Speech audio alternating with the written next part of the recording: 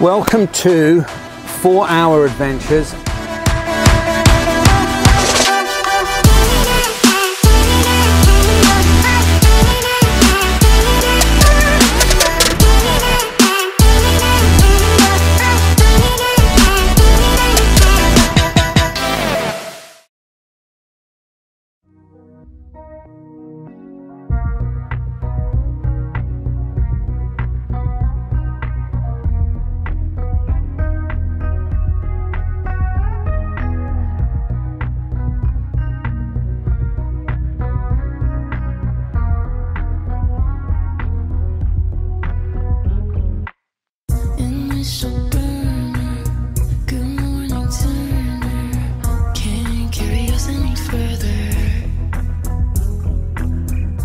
Good morning and welcome to sunny, sunny Florida. I'm here um, near Johns Pass and today um, I'm going to take you on a four hour adventure. We're going to go from here to Egmont Key, have a little look around, see what we can find, what we can get into and, uh, and get back all within four hours. So how is this possible? The gift of Axopar.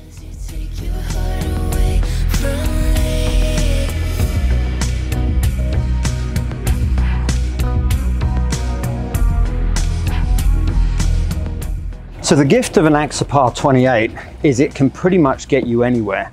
Um, obviously, don't go out in a hurricane, but outside of that, it doesn't matter how big the boat is, this boat will get you there. Performs incredibly, and I'm going to show you some shots today. But the idea is, and this boat, by the way, is available on boatsetter.com, and they have captains and everything else. So if you're ever in this area, I'll put a link in the description here. Go to boatsetter.com and give your family the gift of one of the most amazing adventures you'll, you'll ever have. Anyway, enough of that. There's a great seating area. There's an air-conditioned cabin. There's an aft cabin. There's sunshades. We'll show you all of that while we're out there today. But I don't know about you, but I'm I'm itching to get after it. So let's get going. One final thing as well. Jordan from Nautical Ventures is here and he's very kindly, in his own time, taken some time off work to bring us a bunch of toys to play with today as well. Jordan is actually the guy who sells these Axopars here on the Florida coast and he's been unbelievable. Jordan, thanks very much, mate, for coming out today. Yeah, my pleasure. And uh, you ready to get after it? Let's do it. It's Go.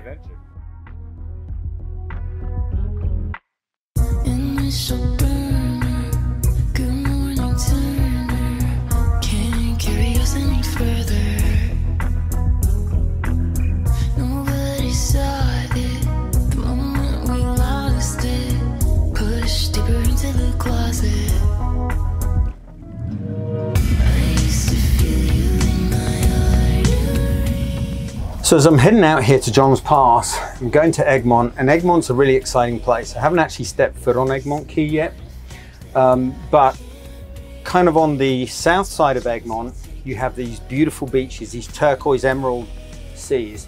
But the history of Egmont as well is fascinating. Um, you know, Egmont is actually named Egmont Key after a chap called, I think his name was John Percival.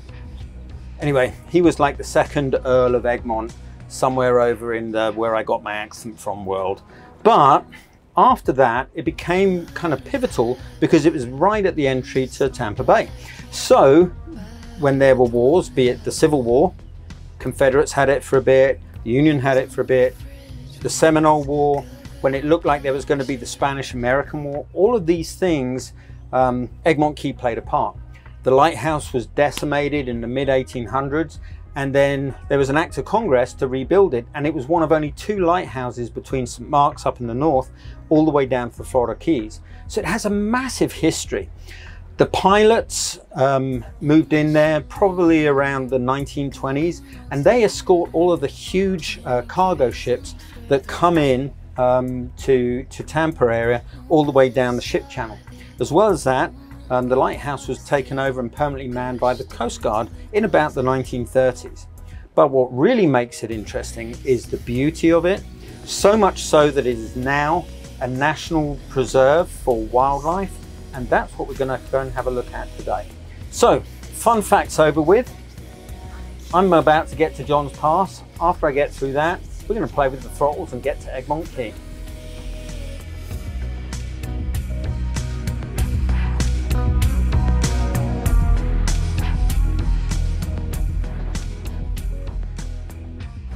So that's Eleanor Island. It's right in kind of the center of the sandbanks around John's Pass, and it's a great spot to hang out. Also, if you have like a paddleboard or a kayak or a canoe, um, you can totally uh, paddle through the center of it. But back over this side of things, you've got the pass, and on both sides of the pass, you've got marina on the left, obviously, but also Crabby's restaurant. Then on the right, you've got all of these amazing kind of little restaurants and places to hang out and watch the world go by. And literally, I've never been through here or I've never even sat here for dinner without seeing dolphins, without seeing all kinds of fish. Um, you know, fascinating, fascinating place. So, whether you're on a boat or whether you're just here on vacation, this is definitely the place to come. We're going to head through there, and ahead of us, we can see the Gulf of Mexico. So, um, let's get through this bit and then we can throttle up.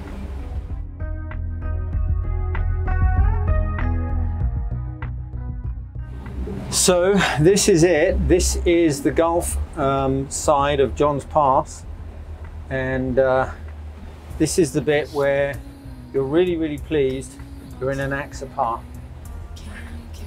Let's go.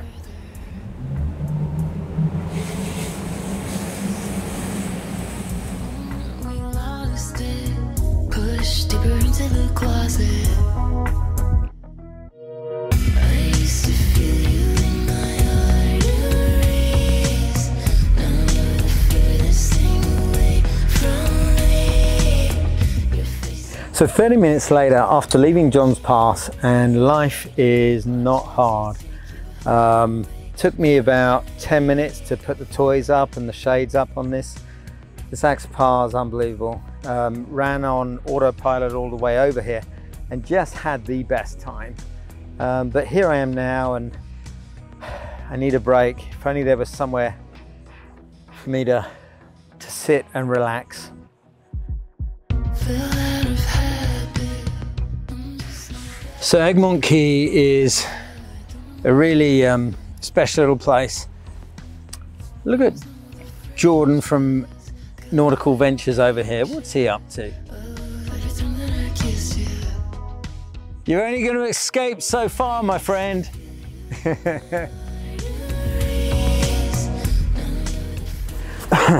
Just right in the mouth of Tampa Bay. You can look it up on the map.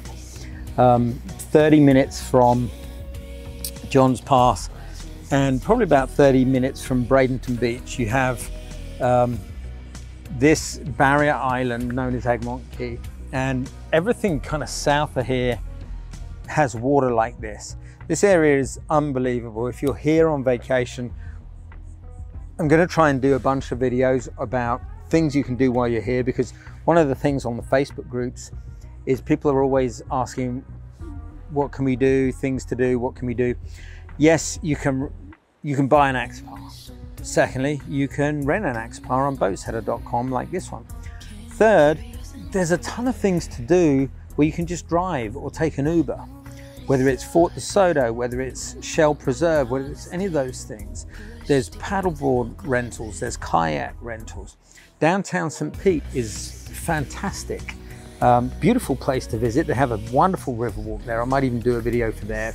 Um, and again, this is not about me being on in your face the whole time.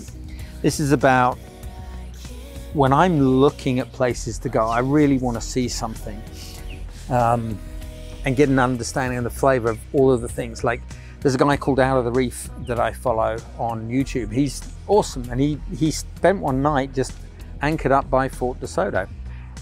That's where I got the idea. Oh, that's where I can go. Really kind of him to share, but these are the things. So in the description, um, I'll leave kind of um, I guess Google Map links to to various places. It may just be coordinates, but at least that way you'll be able to go. Oh, that's where he was, or that's where we can go to see this. But this is an area of unbelievable beauty. Um, you just need to know where to explore. And that's the purpose of these videos, is to hopefully help you shortcut your vacation and be able to just go and see and experience and, and have little four hour adventures all over the place. So anyway, I hope you're enjoying this. If not, I'm really sorry, turn it off. If you are, fantastic. It was definitely made for you. And um, I'd love to see other people's videos as well. So uh, I'm gonna go and join this bozo over here in the water and play with some of these toys.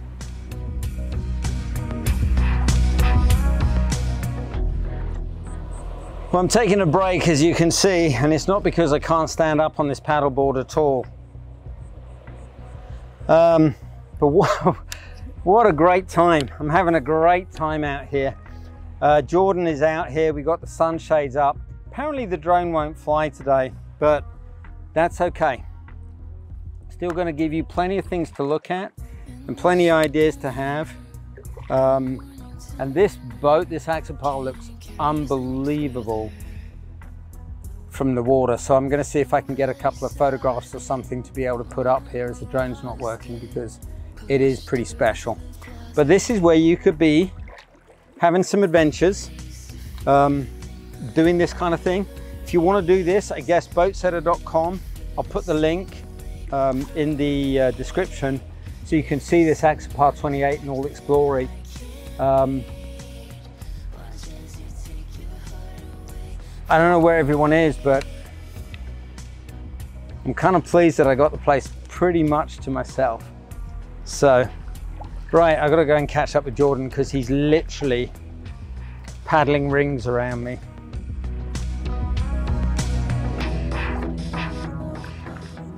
This is, this is what you call a side saddle. Completely made up. So, you know, there's no, there's no, there's no, um, it's how, we, it's how we do it in Europe, maybe? I don't know. Um, I just wanted to dangle with my feet in the water, honestly, so I wouldn't, uh, I wouldn't try this when you're out here. I would try this when you're out here. I certainly wouldn't have your mates filming you trying it when you're out here. How about that? But have a look at this thing. How cool is that?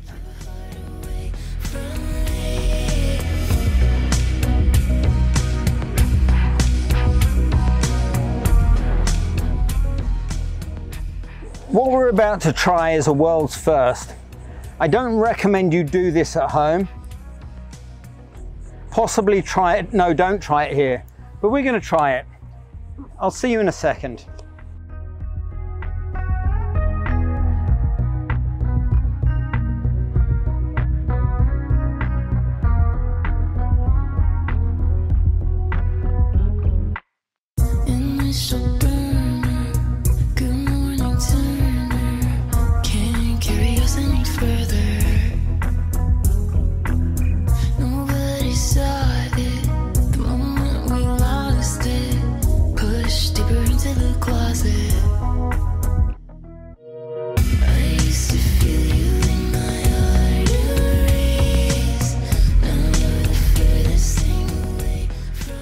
So little detour here. I just wanted to run down to um, Jewfish Key, kind of show you the beauty that is this area. And Jewfish is um, what the locals have as a slang for the giant grouper. And it's, a, it's an unbelievable area. Really looks amazing. It's a great anchorage as well. You often see boats stored up here overnight. Um, but again, this is, you know, another 20 minutes or so further down the road from where we were. And again, completely reachable in one of these boats. So, Jewfish Key. Look at the water. And you can see here just how, I mean, this, this to me is Florida. This is what I think of when I come here. This is what I'm seeking out, what I'm looking for. It's just kind of Siesta Key area, just further south from Anna Maria Island and Bradenton and beach, and just Oh, I love this part of the world.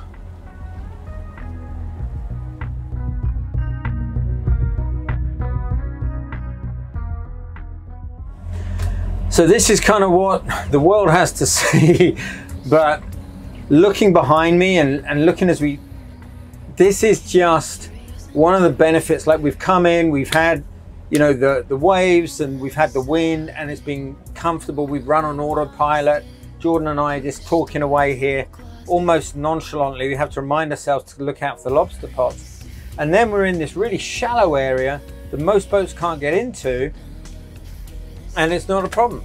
And you can see a sandbar over here on my, my port side where people are hanging out, families are hanging out like kids in ankle deep and we're a few feet away from them as we go by. And this is just one of the benefits of coming here. And of course, if you don't know about this, how would you know? You know, it's a little hidden secret, right? Absolutely. So, so hopefully through doing this kind of video and this kind of material, you'll be able to come look at it. And if you are actually in the in the market to buy an Axopar, you know, go see Jordan, come try it. You know, come come go to Boat Setter, do the things that Boat Setter have you do, get a captain, let them take the strain off, and just enjoy the ride. Has the ride been comfortable today? It's been amazing. It's been a perfect day on the water so far. Yeah, yeah. Come and have a look for yourselves. But um, and this is the anchorage that a lot of cruisers like to seek out just off Jewfish, and it's you know you, it's right by a manatee zone, so you don't always get a ton of weight coming through here, so it's quite peaceful.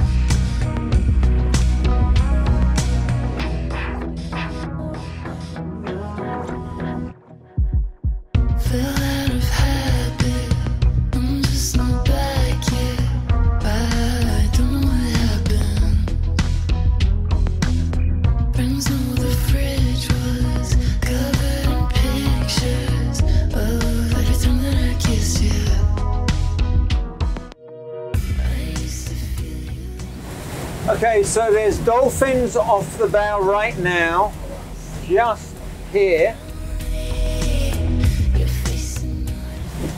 So we're running into kind of a head sea now. I mean, it, it's not a head sea like, it's just, uh, but the intervals between the waves, because it's, it's wind, it's chop. And so it's like every second, boom, boom, boom. So I've got my autopilot on. I'm running about 22 miles an hour just to give Michael behind the camera a little bit of a break.